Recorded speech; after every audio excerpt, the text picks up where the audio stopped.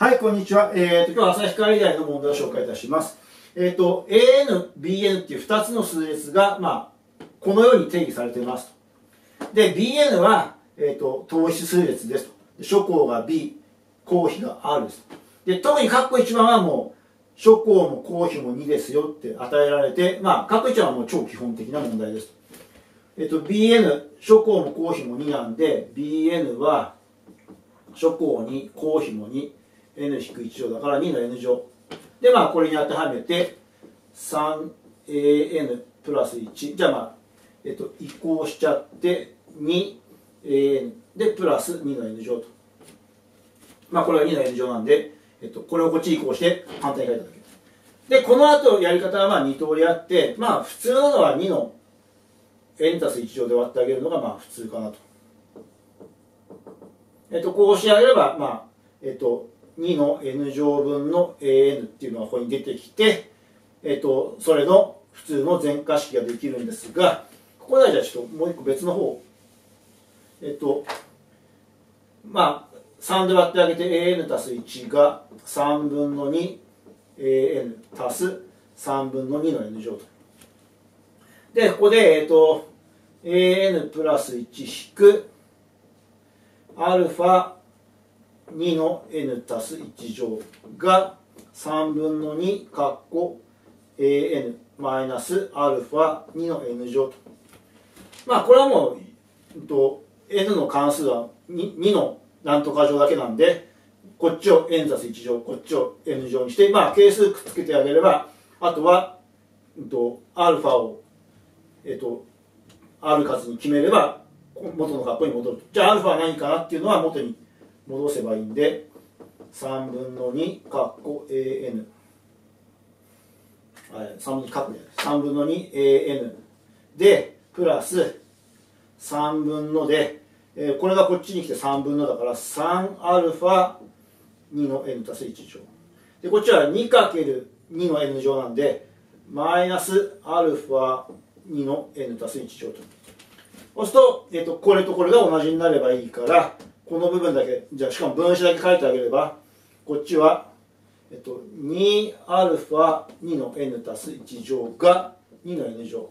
で、2の n 乗だから、これ、もう1個2を前に出してあげれば、4α2 の n 乗が2の n 乗だから、4α が1なんで、α が4分の1ならいいと。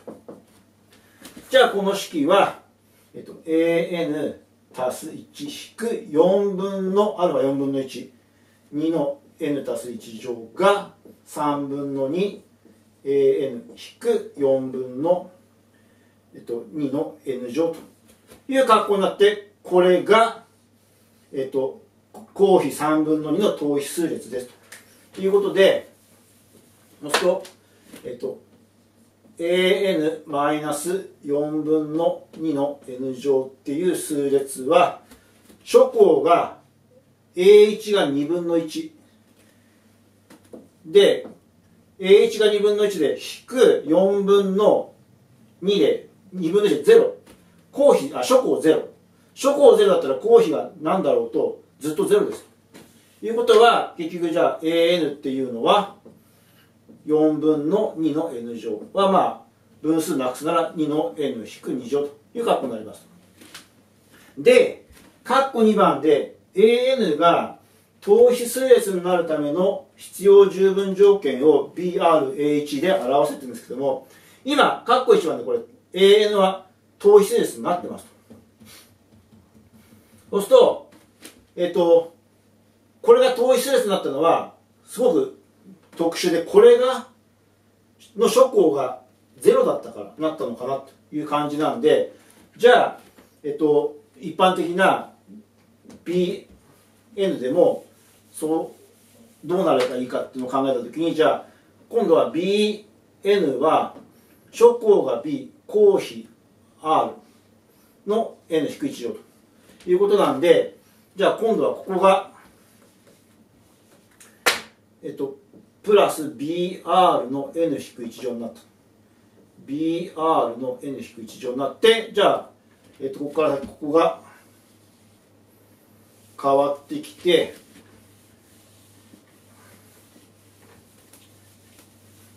ここから。An 足す1引くアルファ。今度は、えっと、r のなんとか乗で n 足す1だからこっち n 足す1乗。が3分の2括弧 an 引くアルファ。R の n 乗と。これがこうなってる。じゃあ、えー、とやはり同じく整理してあげて3分の2 はいいとしてプラス3分のでこれこっち側に移行すると3分のがくっつくんで 3α r の n 足す1こっちはマイナス 2αr の n 乗とじゃあそうするとこの分子だけ比べてあげればいいんでえっと br の n-1 乗がこれで α と r の n-1 乗はくくり出したいから α r の n-1 乗だけくくり出すとこっち側残ってるのは3と r が2個。3r の2乗。でこっちは、えっと、マイナス2と r が1個。マイナス 2r と。でそこでえっとそこで、えっと、b は0でないんで b0 じゃないんでこの辺全部0じゃ0にならないと。ってことは、えっと、3r じゃあ r 繰り出して、r 引く2これも0じゃない。これも0じゃない。で r ももちろん0じゃない。のでえっと r は3分の2でもない。じゃそれ踏まえてそうするとアルファを出してやる。これ両方これ消えてアルファはじゃあ結局これ0じゃないって言ったんで r かっこ 3r マイナス2分の b となったと。じゃあ、えっと、これがアルファがこれって分かったんで an 足す1引くこれ。R かっこ 3r マイナス2分のえっ、と r えっ、とあ b が b b r n 足す1が3分の2かっここれなくても大丈夫だ an-r かっこ 3r-2 分の b r n 乗と。いうふうになったじゃあそうすると,、えーと、この a an マイナス r かっこ 3r 引く2分の br の n 乗っていう数列は諸項諸項は a1 引く r かっこ 3r-2 分の、えーと、n イコール1だから br じゃあまあこれは r と r は約分できると。でこれは諸項。で項比が3分の2の n-1 乗と。じゃあ結局 an っていうのはえっと r かっこ3こっちも r 約分しちゃってえっと 3r-2 分の br の n-1 乗。これこっち移行して。で足すことの a1-3r-2 分の b で3分の2の n-1 乗と。じゃあそこでこれ r は3分の2でないと。3分の2でしかもまあこれ3分の2だと分母0になっちゃうんですけどももしもこれ3分の2で分母も0じゃなければこっち結局3分の2の n-1 乗かけるなんとか。とこっちも3分の2の n-1 乗かけるなんとか。してこれ3分の2の n-1 乗でくくれてこれ統一列です。と。何諸項かけ項比の n-1 乗で、r が3分の2なら、で、しかもまあ、これが3分の2でも0にならなければ、統一列になるんですが、r は3分の2じゃないと。r3 分の2じゃないってことは、これ結局、えっと、なんとかの、まあ、r、なんとかの n-1 乗足すなんとかの3分の2の n-1 乗これって an がこれって統一列には絶対ならないですよねなんとかの何乗足すなんとかの何乗これ統一列の格好にならないと。じゃあこれが統一列の格好になるためにはこっちは0になれない。r3 分の2じゃないし B も0じゃないし。でもこっちは0になれる。どうなれば0なの？これ0これが0ならばこっち0になってるこれが0ならばこれ等比数列です。なんとかかける R の N-1 乗。なんで等比数列になるためには A1-3R-2 分の B が0でなければいけない。なんでこの3つの関係こういう関係まあ別にどうやって書いても A1 イコール 3R-2 分の B って書いてもいいしえっ、ー、と A1 カッコ 3R-2 が B とかこんなどれでもいいからこうなってればえっ、ー、と等比数列になってこれでもですからこれが0ならばこれなくなって AN は等比数列になるっていうこれも十分条件を表しちゃってるんですね。十分条件言っちゃったんでもうそれでいいのかなとは思うんですが一応必要条件も言わなきゃいけないのかな言わなきゃいけないか言わなくていいかちょっとよくわかんないんですけどもじゃあ一応言っとくならば、えっと、等比数列になるためにはとにもかくにも、えっと、A1 A2、A3、これがまあ等比数列になったわけいけない。で、この隣接三交換が等比数列になすためには、えっと、これ大事な性質で A1×A3 が A2 の2乗っていう。えこれ等比数列になるための必要条件ですと。これ当たり前の話で、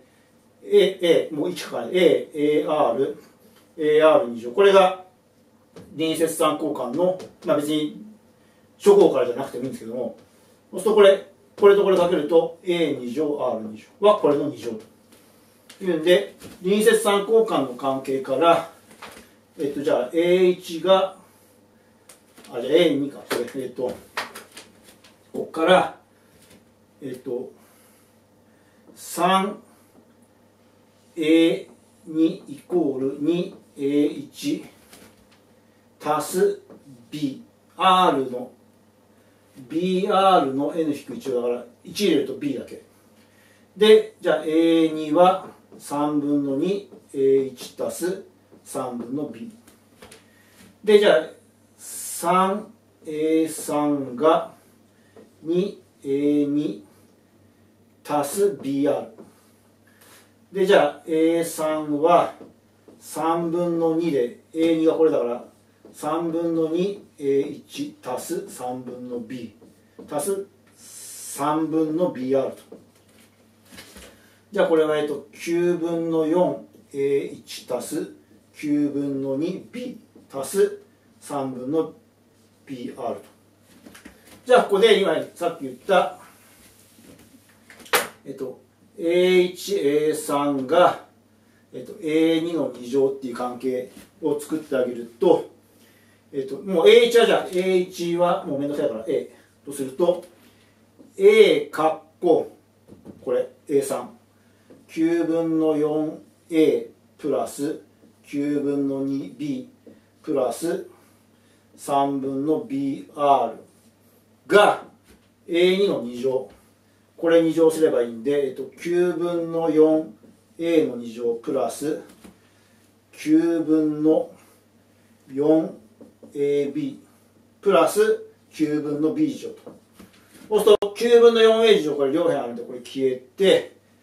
でえっと AB9 分のこっちに持ってくると9分の 2AB とえっとマイナスこっち持ってきて3分の ABR 足す9分の b 事乗が0。で、これは、えっ、と、b で、b0 じゃない b で割れて、で、9倍すると、2a 引く 3ar 足す b が0と。そうすると b は、こっち来て、えっ、ー、と、A でくれて A カッコ 3R マイナス2と。これがまあ必要条件で、えー、消しちゃいましたが、えーと、さっきの式と合ってるということで、えーと、必要十分が一応示せましたということです。まあ、最初に必要条件やって、後から機能法で説明するのがまあ普通かもしれません。まあ、それは自分でやってみてくださいと。これ最初に出して、後から数学的機能法で証明する方法が、まあ、普通だとは思われますじゃあ以上ですありがとうございました